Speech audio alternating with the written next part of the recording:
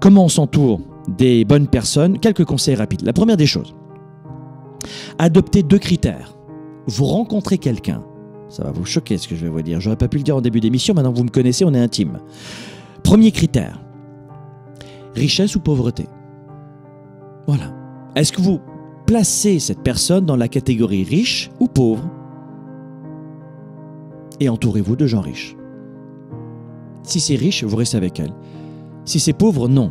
Alors maintenant, je vais préciser ce que je suis en train de vous dire, parce que vous êtes certains qui me connaissent pas vont dire oh, le salaud Alors si on n'a pas d'argent, on est nul, on est bon à rien. Non, c'est pas ce que j'ai dit. J'ai cité le mot riche.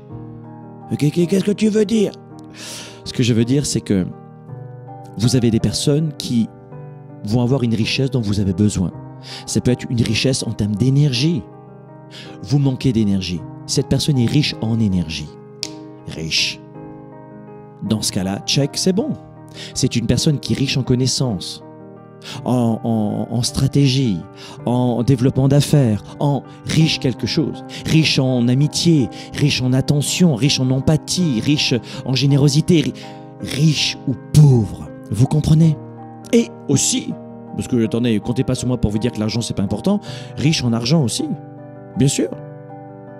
Vous, vous, collectionnez les Ferrari, les Lamborghini, vous en rêvez, t'as moins de 25 ans ou moins de 30 ans et t'adores ça, les Lamborghini.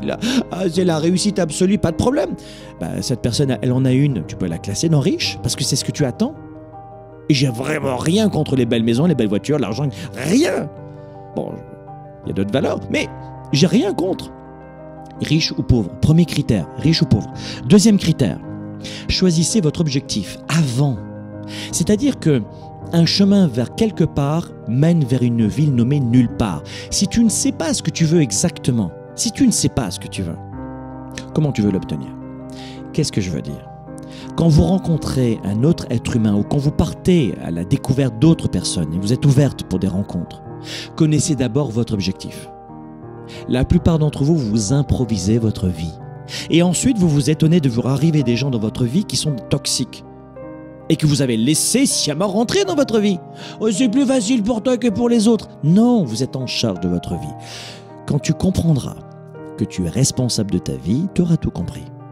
À partir du moment où tu vas retomber dans c'est pas moi, c'est les excuses, c'est les autres, c'est fini. Tu es en train de dire je ne suis pas responsable de ce qui m'arrive.